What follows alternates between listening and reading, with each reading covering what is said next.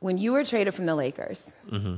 you posted a selfie smiling. Was that related to the trade from the Lakers? It was, and it was smiling through the pain because I was I, I was sick. I did not want to leave. Posted that as like a false front of like, oh yeah, I'm excited to go to New Orleans. Try like not like I got to LA, and, and my biggest thing is like I always wanted to be in the league and be with you know at least one team for a long time. I wanted a place to have as home. It was like let me let me post this so people think like, oh, he's excited, he's happy, and all that. But like, nah, deep down, I'm like, damn, I don't want to leave.